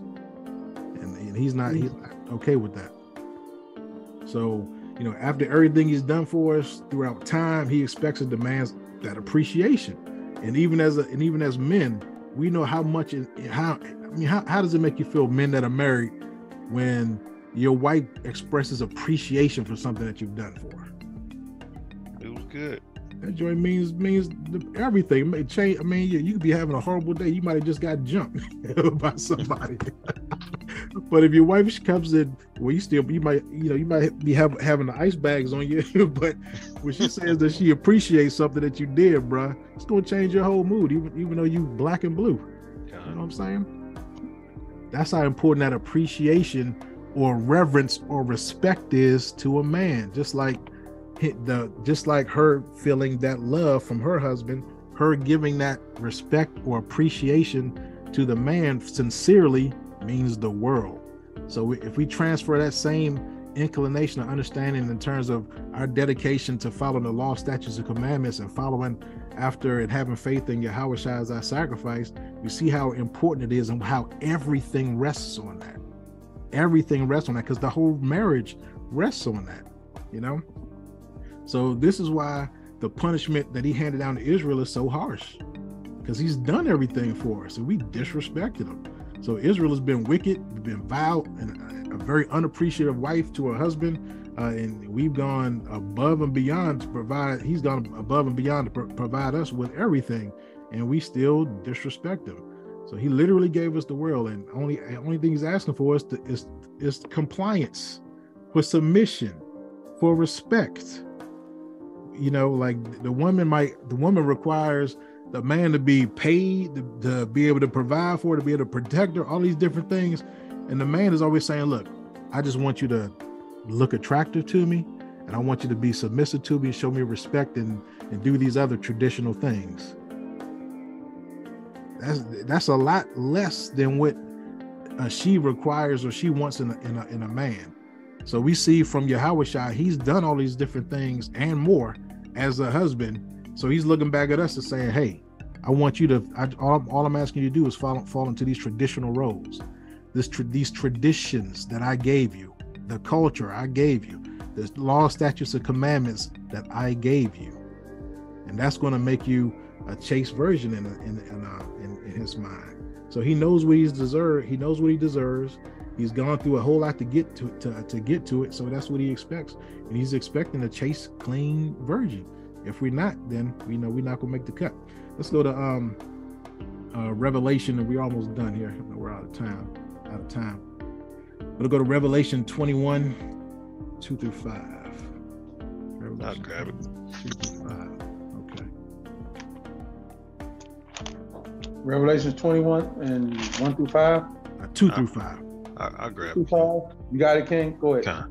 Revelation chapter 21, verse 2. And I, John, saw the holy city, New Jerusalem, coming down from Yahweh out of heaven, prepared as a bride adorned for her husband. We going through uh, 7, you said? Through 5. Through 5, Salakia. Mm-hmm. Verse 3 And I heard a great voice out of heaven saying, Behold, the tabernacle of Yahweh is with men, and he will dwell with them, and they shall be his people, and Yahweh himself shall be with them and be their power. Mm. And the Most High shall wipe away all tears from their eyes, and there shall be no more death, neither sorrow, nor crying, neither shall there be any more pain, for the former things are passed away. And he that sat upon the throne said, Behold, I, I make all things new. And he said unto me, Write, for these words are true and faithful. Con, come con. So that's actually a picture, again, Holy City, New Jerusalem coming down out of heaven. That's actually almost like the bride walking down the aisle in a, in a traditional Western style wedding. When the woman's walking down the aisle to the, to get to the the marriage, whatever that they call that, I should know, but you know the whole ceremony. You know what I'm trying to say. But that's coming out of coming down the aisle, coming down from heaven. His his his beautifully adorned wife that he's been waiting an eternity for, you know. So this is actually um after his thousand year reign, this is actually going into the um the father's kingdom or the actual kingdom um that's prepared. You know, my father's house has many mansions. This is this is us preparing to go into his father's house. So this is actually that's uh, the new covenant right there. The new covenant doesn't begin until the marriage. The marriage is not until after the wilderness period, after he's put down all of his all of his enemies and stuff like that.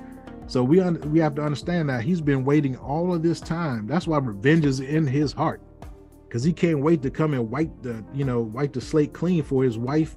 And he's man, he's he's anxious for the honeymoon, like like most husbands. you know what I'm saying? If y'all get my drift, you know what I'm saying? he, the, the brother's anxious for that. He's anxious. So even if we look at um, you can actually see the marriage commitment. If we look at verse verse uh, verse three, it says, "And I heard a great voice out of heaven saying, Behold, the tabernacle of of Yahweh is with men, and He will dwell with them, and they shall be His people, and uh, Elohim and and, uh, Yahweh Himself shall be with them, or Yahweh shall himself, Yahweh shall Himself."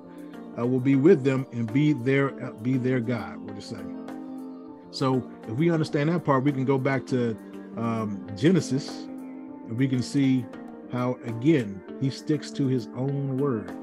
He sticks to his own word. So remember, the tabernacle of of Elohim is with men. The tabernacle the tabernacle of Elohim is with men. He will dwell with them, and they shall be his pe- his people. So this is uh, Genesis t- uh, two excuse me, 24. Uh, anybody want to get that real quick? Genesis 24 and 2 and 20. Genesis 2 and 24. Oh, Salaki. All good. Genesis chapter 2, verse 24. Therefore shall a man leave his father and his mother, and shall cleave unto his wife, and they shall be one flesh.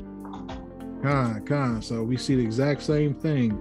The tabernacle of God is with men, and He will dwell with them, and they shall be His people. That's mean that means, and uh, and God Himself shall be with them. That's a union. That's becoming one. That's dwelling with them. Same thing is here. Um, the, uh, they, the the son is going to leave the, the his father and mother and cleave unto his wife, and they shall become one flesh. So we can see how is the is the is written of him in the volume of the book. Is written of Yahweh in the volume of the book, and he still obeys his laws, statutes, and commandments. So um, we're gonna we're gonna stop right there for today.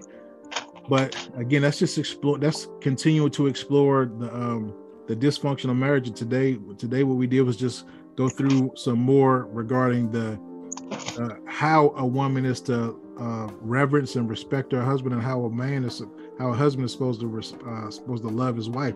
We just got into more details, and we also again saw how those things coincided. They were pretty much parallel with uh, you, you know Yahweh and Israel uh, as compared to a human uh, husband and wife, a human Israelite husband and a human Israelite, you know, uh, wife. Uh, so we'll stop right there for right now, and uh, we're going to pick back up. Uh, I think with the with the last part, if we can get through it next time, um, and then we'll you know we'll be going over something else. But um, do we have any questions questions so far about what, about what we went over with today? So let me ask. Mm-hmm what about the women? Women, because there's more women on the planet than men. Mm-hmm. Um, those women that don't want to be married. Is that like saying they're rejecting who Yahweh power is? Well, not wanting to marry. I don't necessarily. I, I wouldn't necessarily. Uh, well, I, I I don't necessarily know the answer to that, but I will say that there's a prophecy, and I, I see we spoke about it very early, very early on. Like right now, we have we have a, an epidemic of women saying, "I don't need," especially our women saying, "I don't need no man. I can do all this by myself. I can have my own my own children. I can do everything. I don't need a man. What is a what is a man good for?" But then we see that there's a prophecy, and I don't remember where where where it is, but it says there's going to be seven seven women are going to come to one man and say and say, "Look." You know, they still have they still we go here. They still have some some of the independence mind. Look, I'll bring my own food. I'll make. I'll eat my own food. I'll I'll wear my own clothes. Just mm-hmm. take away my reproach. God. And, and and and take and let me have your name. So it's a reproach not to be married at that point. And and it, and, and like Don said, that is a future prophecy. Um, so that shows it's going to be rare. You know men are going to be rare like um, for women to do that. So it shows that they all are going to be in order in that day. They all going to know their role based on that what that scripture is saying. So i definitely see them wanting to marry because that whole westernized mindset is going to be gone at that point. Begging you know what i mean?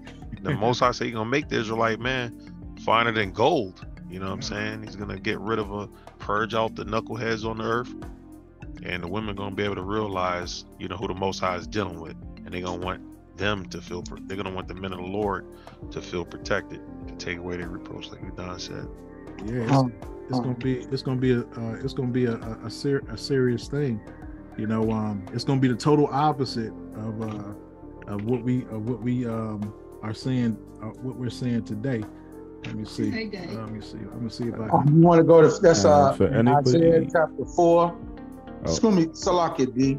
Um, Isaiah 4 and 1. Isaiah 4 and 1. Yeah, that's it, what the scripture is. That day, seven women shall take hold of one man, saying, We will eat our own bread and wear our own apparel. Only let us be called by thy name to take away our repro- our reproach. God. God. All right now.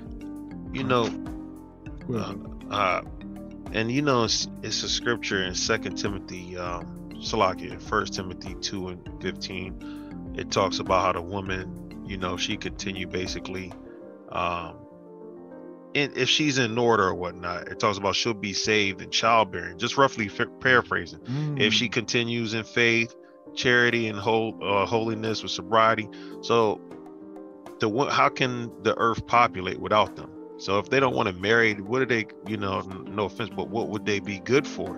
Right. Their job is to hold the babies. You know, populate, be there for the man. So they have to. If they don't want to marry, that's completely out of order. That's a rebellious spirit from the and primary. that's not going to be. Yeah. From, from, the original commandment, which command, which is which is uh, what was it? Fill the earth and multiply.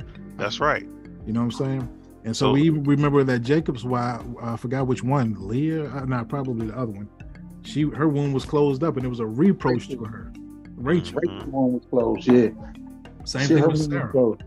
Yeah. So Huh. they gonna get it in that day. You know what I mean? Yeah, so, man. Yeah, they definitely gonna they gonna want to marry.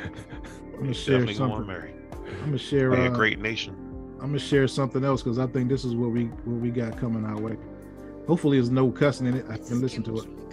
Realization these past few days have been so hard for me because you know how men say that women have toxic feminism and like you'll get to a certain age and like no one will want to marry you and no one will love you like I feel like I've gotten to that point, guys. Like I was so hung on to this feminism thing, and Feminism. I missed out on marriage and on children.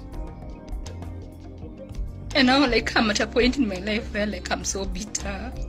I'm so jealous of people who have marriages because they're so happy, Reproach. and husbands don't even cheat on them. Reproach. And like men are just the best, you know. Like right now is when I'm realizing like I can't do without them. And right now I'm like, I don't care like if you are rich or poor, tall, dark, handsome, ugly, me, I don't care by the way. As long as you're a man and you're breathing, like that's the only qualification I need because just, I'm just so desperate just for a husband breathing. and there's a lot of pressure around me. So if you can do only qualification is all you gotta do is be breathing, bro. For a husband, everybody got qualification I need because I'm just be so desperate for a husband and there's a lot of pressure around me. So I gotta find that's, that's, that's, tall, like the most high have to gonna do. That's gonna be a lot of. And right now I'm like, I, don't care like, like if you are rich or poor. Tall. I gotta hear it one more time, bro. Humbling themselves and before the most high having a husband, man. I gotta hear it one more time, man. Hold on for one second, bro. I, I'm playing DJ. Hold on for one more second. Let's hear that jam one more time. All dark, handsome, ugly, I don't care by you. Nah, you crazy. As long as you're a man hey, and you're breathing. There are many more. Like, that's the like only that. qualification I, I need because I'm just so desperate for a husband and there's a lot of uh, pressure around various women that was coming out. You know, they trying to uh, they coming clean. They coming correct. Like, look, I realized and messed up, and it's a lot of women gonna be like that. A lot of women like that now today. Yeah, but that's what, and this is what feminism is going to produce. You even heard her say it. She started off saying, you know, I, I, I started off in this feminism thing, but now I'm so bitter, I'm jealous. All of you know, these different friends have marriages or, or babies. This is what this feminism is going to produce. It ain't going to be like, hey, look at me shaking your butt, wearing no clothes no more look, please do anything. look, just be breathing, please.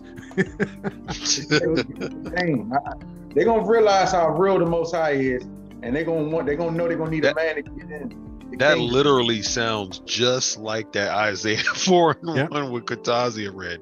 It's coming. Let, let, me do, I will do this. We'll get else. It doesn't matter. Just, you know, marry me. That's coming. Man, man, that that is coming, bro. That's definitely uh uh, a taste of what's to come. That's for sure. That's coming, man. So look, they ain't gonna be, it ain't gonna be like, I ain't, no, I'm not doing no polygamy. Forget all that. No, I'm not, nah. it's that the resistance, the uh, like the, the resistance. They're gonna be number 21 on the line, huh? with no with no complaints. They're gonna be like 21 on the line. With no complaints, man. Do y'all think we starting to see that now with women proposing to men that was like I think a trend going on the last couple years. I, I, don't think we're quite there yet. I, I, have seen some of that, but I think some of that is them taking taking control. But the desperation uh, ain't hit. The, the, desperation hasn't hit yet because this is that's still that boss B threatening the man to Gotcha. get married. thing. Con, con. Right, right now, they're focused on themselves. What can somebody do for them? They don't have to bring nothing to the table. Whereas, whereas she's like, look, I will bring everything, brother. Look, you could be paraplegic as long as you are breathing. You know what I'm saying? she is down. You can know what I'm have one eye, one arm, one leg. She Let's is down. do it. Oh, yeah, I want man. your name. I'll brush your teeth for you. You know what I'm saying? I'll wipe the sleep out your eye because you don't have no arms. I will do it all. you know, what I'm saying? she's down, bro. So, so it's coming like that. So that's a is that is that not a submissive woman? Hey, yeah, man. That's a woman God, that realized she missed the train about 10 times. And And finally, and, and the 11 one ain't coming until next year sometime. She got to wait. and But it's, know what? it- it- it's going to come to that, though. If the that- Most High say it, then it is. If we believe in this truth, then every word that the Most High speaks to us as His sons, as His kings, and He want us to rule and replenish the earth and have dominion over it. Uh, we may not have dominion over it now because Esau cutting up doing what he want. But when His kingdom come, His will will be done on earth as as it is in heaven. He's sitting on the throne. It's going to happen. It's going to come to pass. And so even this and so even this prophecy, like you know, it sounds like, hey, the men are the men are getting everything, but no, this is a blessing for the women too.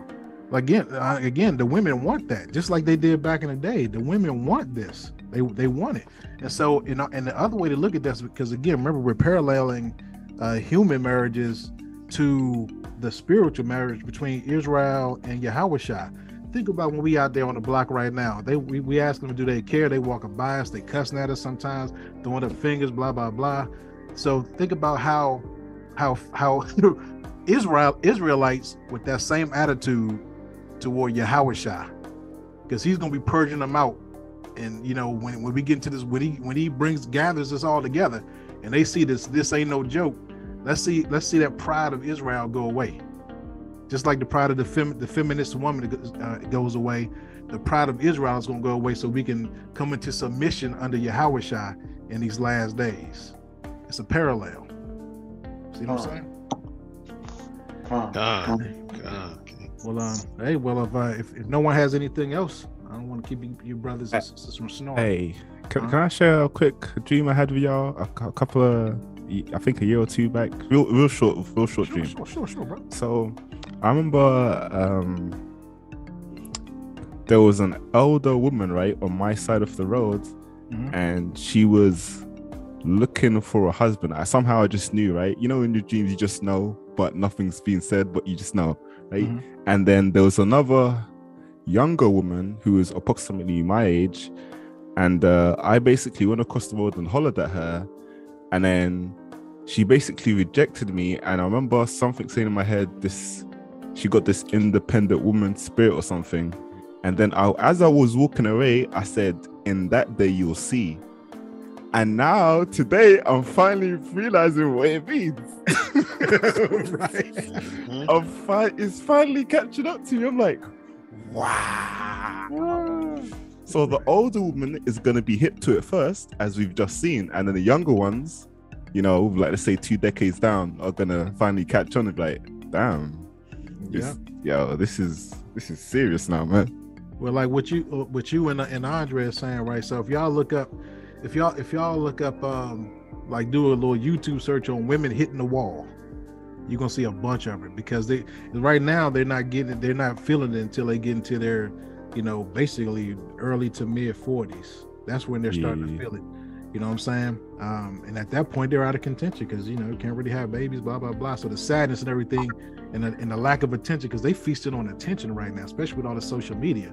And it seems like a lot of ladies can't tell the difference between uh, attention because of sexual reasons or just you know, um, as opposed to attention for I want to be in a relationship with you because the social media blurs everything. validated. They want to feel validated, but they don't have worth to feel. They don't have no worth. A lot, a lot of men It's false are waking up as well to see Right.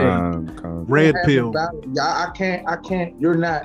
It's almost like the guys waking up saying, "You know what? You're not worth it." Right. No validation. They the women looking for the validation. So they give they give all that they know that they have, their bodies. Yeah. They they cute face, they want to be like, oh, I'm, I'm nice looking, or they get their bodies to be validated, and men don't even want it. Be like, you know what, they women like giving it away. Yeah. Men want it, like, nope, nah, because they don't have no value of who they are unto Yahweh power. That's right. They don't respect themselves. That's right. That that's that's that's that's one hundred percent right. And like you said, so so you're right. It's those uh those two critical uh those two critical components of, of both the uh the men because it's going to have to be the men first because the men are going to have to stop paying attention to them and giving them gifts and stuff for that because that all of those things are going to have is that's what's going to be the harsh reality to uh to make them wake up. And so Kevin Samuels woke a lot of men up. Hmm? Uh, uh, Kevin Samuels, God bless soul, Hallelujah. he woke a lot of men up to how these women are today. You know, he he speaks about you know for the women to settle down being married, but these women you hear on a lot of his segments, a lot of the women have got uh, divorced their husbands, and now they look they on they on a they on they on a social media platform looking for a man to validate them, and they not getting it. Yeah. And he's telling them why they not getting it, and they still can't see. They they still sleep. And a lot of men waking up like, you know what? I wasted my time with this woman. She wasn't about nothing. That's that's. You know, that, go ahead, Salah. No, I was I was I was agreeing with you. I was a, I was absolutely agreeing. Um, excuse me with with with uh, with what you're saying. I think that's I think that's correct. So so it, it kind of goes back to the to the um to the same thing because for like you said, I mean to be honest with you, man, a lot of a lot of women right now, and it's it's a lot it's a it's a lot of stimulus. They're being fooled just like Eve, just like Eve was. So these things are false, but because they're promoted in social media and on a you know and in the movies, men are made to look dumb, women women are made to look like the prize. you know um and obviously they are actually they're actually getting his attention because you know their dms are being filled up with all kinds of desperate guys and all kinds of you know all, all these different things for physical attention but their substance many of them not all of them because there's still some great women out there plenty of great women out there great wives out there that are that are uh, that are willing to do what the uh, Most High calls them to do but the majority of them unfortunately right now are being uh, brainwashed and they're a little on the delusional side guys too i'm not gonna i'm not gonna say that the guys are not because this you know the, the guys are the guys are tripping too the guys that are tripping, they the guys, the men are realizing, here you got these women, they want valid, they want to be validated, looking for attention. They mm-hmm. get with a man. They may find a man, mm-hmm. and and it becomes a combative relationship. Not saying that it got to be physical, but verbally. It's like the man can win for lose with the woman, and now society have it that men men men are, men are, like kind of like fearful of women because all she got to do is dial 911 and a lot of men had to go through that realizing this woman is psycho you know they lie women are lie unfortunately they they do damage to if he if he if he's uh a validated man where, where he like got uh, he, he gets attention from these single women that's cutting up it makes it easier for him to like, you know what, I'll take my time and choose and pick. Because the last one I had, she busted all my windows out, flat all my tires, threw bricks through my window. Now, you know, and they and the women are not held uh, accountable mm-hmm. for it. They they use a uh, um they use the feminist wows to justify their actions or they you know they they they'll play the role of this sensitive the oversensitive or oh, he hurt me, or you know, I, I lost control. Um, and they're not, and other women are holding them accountable for their actions. They saying, "Girl, you don't need them," and right. they, her girlfriend is just lonely, been lonely for, and, and uh, chasing after men that are already spoken for, and mm-hmm. uh, they be like, and they always, the women always say, "He cheated, cheated, cheated," but it's coming to the fact that you know, um, he, you know, uh, if he, if the man knew who he was, right, and the woman knew who she was, it, it won't be no cheating. Right, man. At all. But women now, when they be the boss, they feel like they the they they the they the they the aggressor, and wearing pants uncouth in their attitude got the men simping. They got the men that looking for something simping, and those men are finding out she's dangerous. Yeah. She's no good. She she she she's taken versus adding. And then they don't have a relationship with the most high. They unequally yoked. So men are waking up, men, women are waking up too. Men are waking up too because you're not equally yoked. If you're not equally yoked to the most high, it's never going to work. It's never going to work out. It's never, even if they both don't believe, it's never going to work out. Mm-hmm. If one believe and the other don't, it's no. The Most High say in the Scripture, do not walk, give with someone unequally yoked. You want to be equally yoked. You want to be equally yoked, so it, it'll be easy to get along, easy to pray together, uh, stay together, do things together in the Most High, representing each other, submitting unto one another, as we read. That's right. You know, you be on. excuse me. You're on the um, on the uh, on the um, on the same on the same you know uh, you know mission and stuff like that, and, and things will be uh, things are things are a lot more cooperative. You're going in the same direction. You know, like you were saying. So you can even um, you can you can even look at look at um, um, you know things from from from an Israelite perspective. Because right now, like you said, something like real key, like men are men are finding out who they are. And what are we always asking people when we out on the street? Do you know who you are? We're asking men and women that. So as we so as we come back to who you know wh- who we actually are, what our real you know uh, calling is, we'll begin to develop that pride, get back into order, and this is where Yahawashi is going to be calling for anyway. It's just at, at a certain point, like he's giving us that, he's giving us that patience right now. At a certain point, you know, he's gonna step, he's gonna, he's gonna, you know, step on the pedal. You know what I'm saying? Like, hey, like you gotta do it right now. I'm so, I'm so, I'll be, I'm so thankful unto the Most High. So thankful, thank Him abundantly that He has waking me up. Uh.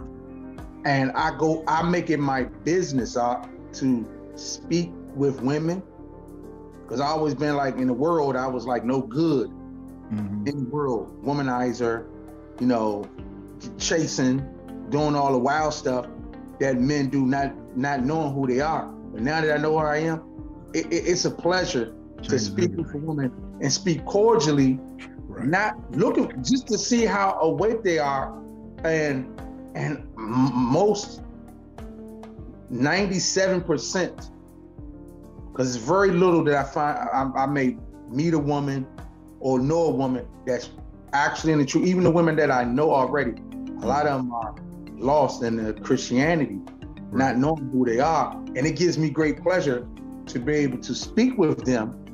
It's a it's it's it's, it's a, like a platform of teaching them who they are, being knowing uh, that I I am a prophet. You you men are prophets, it's it's it's I'm related not just with women but with men too, and I hmm. don't even have to get into a debate. It just it feels good to know who I am and be able to speak to them, and they don't know who they are. And they think they know, and I'm like, ah, you're so far right, you're so far left. You would have no clue. Like, and I look at how they dress. Look at how they dress. You can look at the hair they have on their head, mm-hmm. the lashes they got, butterfly eyelashes, mm-hmm. the makeup caked up, uh, the raptor claws, the provocative dress. Oh my goodness, man. Dress where they showing cleavage, they showing tramp stamps, and they doing so much. Then they could be corporate women, and they have no clue and all they doing is copying each other. Like they do the all of them do the same thing. It's not even like a bunch of individuality, bro. And that lets you know that they are being brainwashed because they all just following whatever they see. Vessels. It's like like whatever is being poured into the vessel. That's what that's what they do. So this is why we have to, you know, um, we have to correct. We have to be the correct vessels and kind of teach. But to start, not teach, but you know, we have to we have to operate in that function the husband has to come back and operate in that function to get you know the um to get the righteous wives. I'm gonna show uh something else. I think this is the right clip. I'm not 100 percent sure but it speaks to something that you were talking about a little bit earlier on. Let me see if i can uh let's see if this is right. Uh let's see here. This kind of hitting me incredible. Now. sorry about the language. I've been on their side this whole time none of them were with me. if I was a high value man, no, be honest, be honest. If I had six million subscribers, two million on IG with a check mark, be honest, you'll be on my, but you're not. But since I have 30k in the bank right now, that I've been saving up for the last 15 years. Since I only have a thousand on IG, y'all not with me. So you know what? I'm gonna get in my bag. I'm gonna get six million subscribers on YouTube. Okay. I'm gonna get two million on IG. Okay. I'm gonna have Mark Wahlberg Yeah. come up to me. All right. Yeah. I'm gonna have Mark Cuban be like, "Yo, I know you." Yes. I'm gonna have a billionaire say, "I know who you are." Yes. I'm gonna be courtside at an NBA game and get a fucking haircut in the future. So you know what? I'm not gonna let you guys dictate nothing about me. I'm red pill now. Brother's waking up. taking the red pill.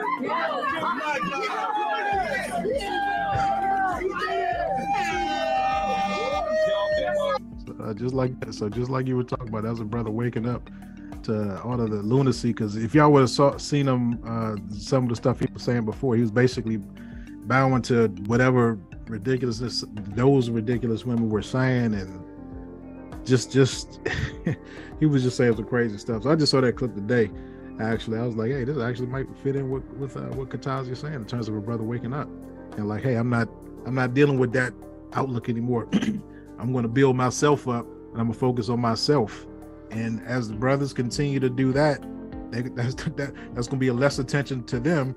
And y'all know that typically when a woman's not getting, when you're ignoring her, that's when she's like, hey, what's what's going on? That's when her interest drives up. You know what I mean? So again, seven women to one man. So this is just so the feminism is definitely um it's not cool, but it's part of the process. I consider it prophecy at this point. Now that I, now that I, I have a better understanding of that, you know. Well, all right, man. I know it's late. Um, so, uh, anybody want to pray us out? Well, anybody anybody have anything else to say? I should say that. I should say ask that first. All good. All right. Yeah, it's, it's definitely been fun and interesting. Appreciate you, brothers. Um, you want to you want to pray us out, Q? Come, come, come. Thank you, Father, for this evening. Thank you for having us come together. Uh, you say wherever two or three are gathered, you are present. And we thank you for uh, enlightening us with your word, with your truth, giving us knowledge, giving us understanding, giving us wisdom. Uh, those that were not able to make it, Father God, maybe had intentions to make it. Uh, bless they, bless their souls, their hearts, their homes, their families, um, loved ones. Father, I ask that you just uh, give us a peaceful night tonight, um, and that you have your angels dispatched around our, our our loved ones, keeping them, protecting them, uh, and we we just thank you, Father, that um, you know, to have this opportunity, in this moment to be able to come together and talk, speak about you, speak about your daughters, speak about your sons, the, the princesses and the kings of this earth. I thank you that you enlighten us um, to let us see that we're kings and the women they're princesses, and that that we have to come back to you, Father. We have to uh, have our lives our lives right. We have to uh, seek you evermore, asking for forgiveness, asking for repentance, to get back on the right path of righteousness, so that we can be um, risen up in, in your might and your power and your glory. We thank you this evening again. Um, may you give us a peaceful night tonight. Um, and uh, tomorrow's not promised, but uh, we thank you for the endeavors that you have for us to uh, carry out and that we seek out in life. And you bless it, Father. I ask this in the mighty name of Yahawashi name. Um, and I pray. And your name we praise always forever, Yahweh Basham. Hallelujah. Amen. Hallelujah. Hallelujah. Hey, well, Shalom, Makiyama. It's been a pleasure as always, and um, and we will uh, see you guys back here next Thursday. Shalom. Yah Shalom. Bashem, Yah Shah, Shalom, kings. Shalom, brothers. Right. Hey, great stuff. Shalom. Great stuff. Shalom, Nick. Shalom, shalom, Max. From across the waters. Shalom, shalom. That's my boy right there, man. Good stuff, out. Great, man. It was a great night for me. I ain't gonna lie. Great stuff. Great stuff. Great stuff. Likewise, brother. Likewise, man. Our brothers take care. Shalom. Shalom. Joel 3:16 The Lord also shall roar out of Zion and utter his voice from Jerusalem, and the heavens and the earth shall shake, but the Lord will be the hope of his people and the strength of the children of Israel.